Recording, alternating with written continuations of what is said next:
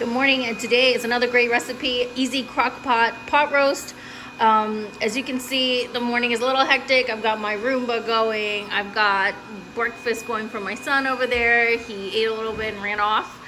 So I will be doing a voiceover over this um, when I do my final edit because uh, everything's just noisy. But I just wanted to point out kind of this is what's happening on a weekend in my life.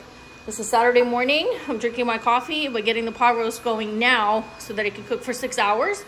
Um, it's 8 a.m., so in six hours, it'll be already warm, can be either a late lunch or be waiting for us for dinner. Okay, now switching to voiceover just to minimize the noise. And I'm going to walk you through the ingredients. First thing you'll need is about uh, two to three pounds of any kind of cut of beef. You could also do this with pork, uh, but for traditional pot roast, it's usually beef. I've got it cut in pretty large chunks. I didn't keep it whole. This helps it cook a slightly quicker. Um, but it's up to you. You could leave it whole. You could cut it in smaller pieces, but you do want it in pretty big chunks because this is going to cook for six hours. I have about uh, six potatoes there, some red, some yellow, and three carrots. You want the ratio to be almost exact, so the same amount in weight of potatoes to carrot. This one large onion, may not use all of it, um, also cut in big chunks. This savory pot roast uh, seasoning mix is the Crock-Pot brand, but you know, depending on your grocery store, you'll find so many different variations on this. You could also use just a regular au jus gravy, a regular brown sauce gravy, and if you didn't have any of that, you could also just do a uh, cornstarch slurry. I'm going to add a little bit of Worcestershire sauce. Also going to add some red wine, which I'll show you later. and you could also um, add flour as well to thicken your stew. Um, diced um, canned tomatoes. But to that, I'm adding two more optional uh, ingredients. I'm adding fresh tomatoes as well in big chunks and fresh bell peppers traditionally they don't go in, but I like those flavors, so I'm adding them. And I'm going to chop up this uh, much parsley.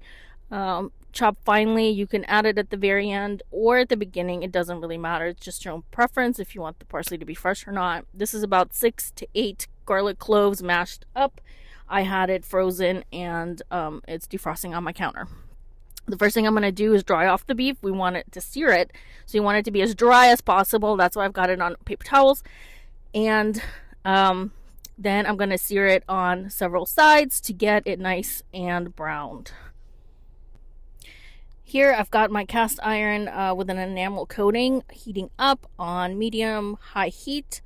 Um, I'm going to use coconut oil, so you just want a, an oil that can handle high temperatures um, a little bit of info on cast iron pans. If you take good care of them, you season them and rub them the, with some oil at the end of each use, do not use soap on them, they can last you a lifetime. They're really great, versatile, and what I love about them is that once they're hot, every part of that pan will be same temperature. This ensures ensures more even cooking. You can also use, like as I'm showing you, metal tipped uh, utensils on it. It will not scratch it or ruin your pan as opposed to Teflon pans. I'm putting in about three three large pieces and I'm going to leave them until they release on their own. So don't move, flip them back and forth. Just let them um, sizzle until you have a nice crust forming as you see here. I turn them over and as I'm turning the sides, I'm adding salt and pepper to both. A lot of pepper. Again, some of it will stay in the skillet. Um, so you want to kind of go heavy on the salt and pepper at this point.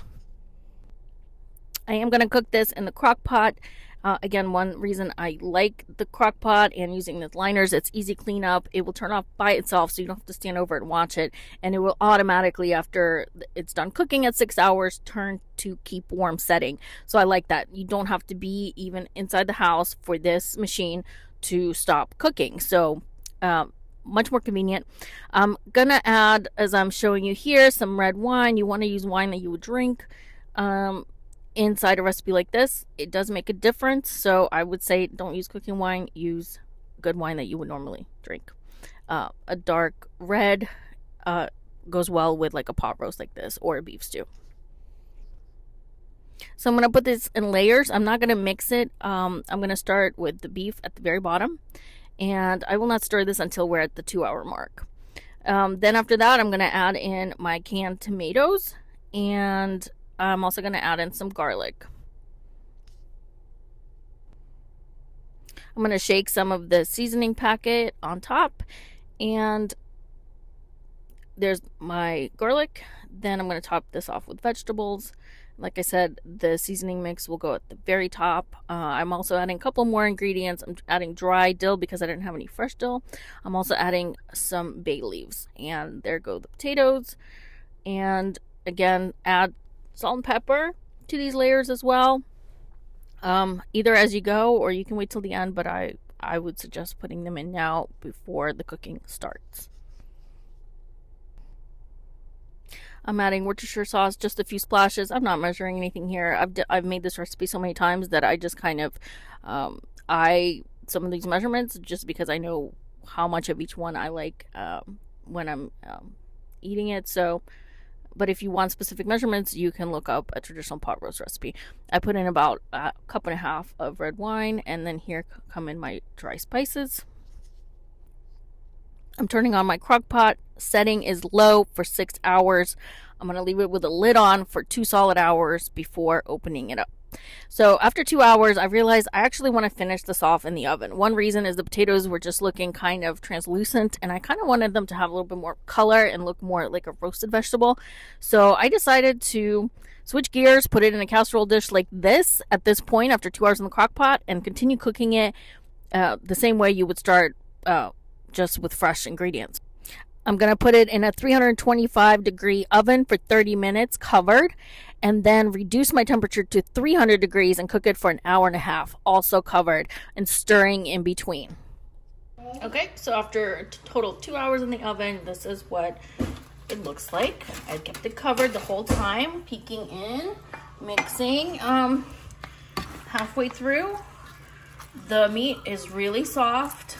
I mean, me just pushing it on it lightly, making it break up.